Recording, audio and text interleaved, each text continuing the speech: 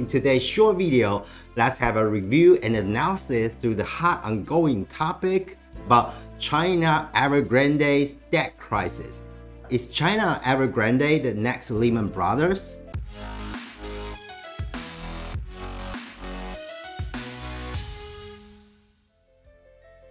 What's going on guys? This is Barro aka Investmentor. Thanks for your time and watching. I hope you don't mind to hit the like and subscribe button first before everything. Your click to support always means a lot to me and this channel. In today's short video, let's have a review and analysis through the hot ongoing topic about China Evergrande's debt crisis. Is China Evergrande the next Lehman Brothers? China's biggest real estate developer, Evergrande, is in excessive debt of 300 billion US dollar right now. It's overbuilt during China property boom of the last decade. The company has lost the confidence of bondholders which don't think it can meet its debt repayments right and it has connection to major global asset managers that could get hit hardly if there's a default.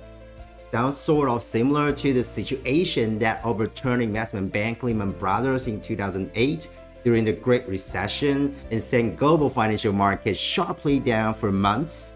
No? That comparison to Lehman Brothers is all the range on Wall Street trading desk. Fears over the fate of Evergrande has sent shockwaves through global stock markets on September 20th, Monday. But is it the right comparison? No. But now, I would not say this is the kind of thing that has the potential for global contagion in the same way that Lehman Brothers did in 2008. Banks and brokerage firms like Lehman Brothers are interlinked in ways we cannot see with huge leverage. China Evergrande is also a highly leveraged real estate developer. In general, while any missed interest repayment on September 23rd by Evergrande from that 83 million would be an unwelcome news for market. However, the markets would universally agree that this is so far not a Lehman Brothers liquidity moment. Recall that back in the heat of the great financial crisis, the bust in Lehman triggered endless wave of selling across almost all asset classes for days.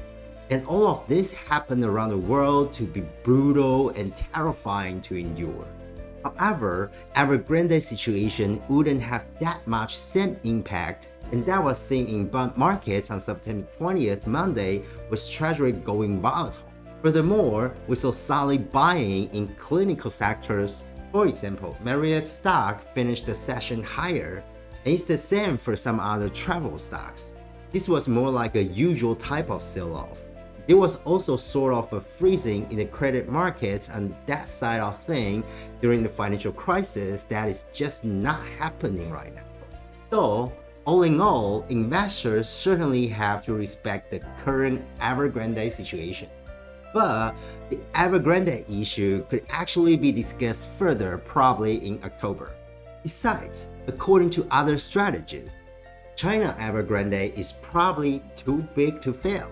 So far, it's still hard to see how the Chinese developer would trigger another global financial crisis, especially when China has no desire whatsoever to chance anything like that happening.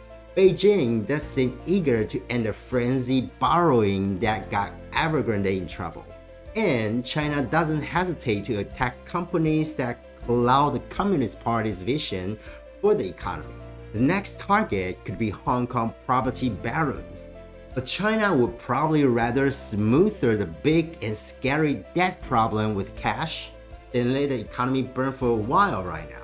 Again, the thought of a Lehman Brothers type of collapse in China sent US investors running on September 20th Monday. It was the market's worst one-day slide in months and shattered an extended stretch of calm for global financial markets. Investors were rattled by news that the major Chinese real estate developer Evergrande is close to defaulting on the mountain size of debt and worried that Beijing will allow the company to crash and burn. However, many global asset managers think that China's economy has too much at stake to let that happen. They believe the social pact between the government and its people is going to drive an outcome here that's not going to lead to a Lehman Brothers type of move. Thus, Evergrande is probably too big to fail.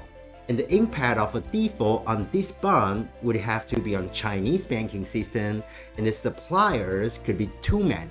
So it's expected that the Chinese authority will step in and work through a restructuring in order to bridge through this moment without a more significant incident occurring. Evergrande is China's largest lender. It owes staggering 300 billion US dollar in debt, more than any other publicly traded property developer in the world, and has become the poster child in overheated Chinese real estate market. Evergrande is an important part of China's economic engine as well, with over 120,000 full-time employees and countless suppliers and partners. Again, there's just too much at stake for China to let the company collapse. It just doesn't seem to me that that's gonna be a Beijing approach to let the company go down without any type of support for the creditor and the financial system to suffer. Very likely, Evergrande will be bailed out or at least allowed to fail in a structured way. But the bigger issue for investors is China's continued clampdown on the capital market.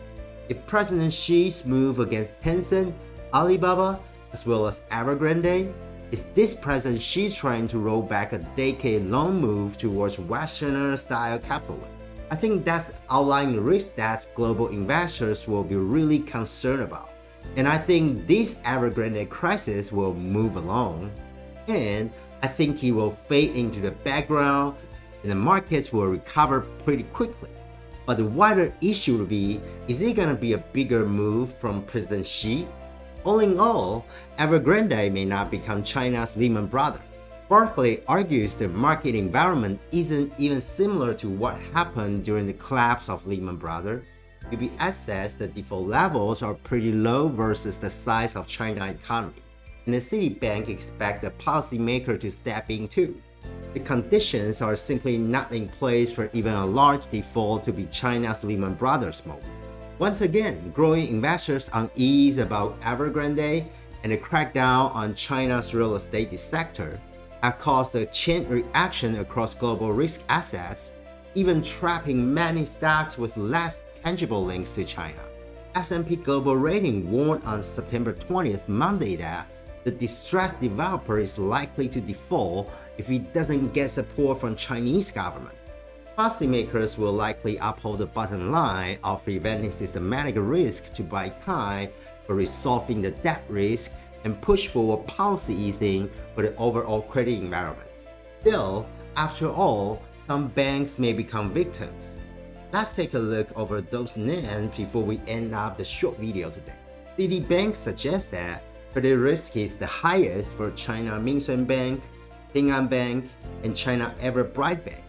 Meanwhile, Bank of Nanjing, Chongqing Rural Commercial Bank, Postal Saving Banks of China are less vulnerable. And I would see any dip as an enhanced opportunity to buy quality names. Jefferies Financial Group also sees little chance of systematic risk from Evergrande and advise investors to buy the dips of banking sectors.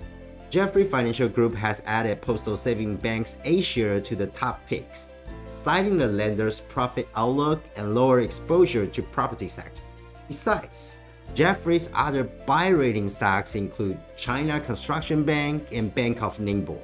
Alright guys, I hope the quick analysis and review over China Grande's issue will be really helpful and easy enough to understand, while some great great trading investment opportunity could be found from there. Please feel free to let me know any of your thoughts and comments and never forget to hit the like and subscribe button down below this video.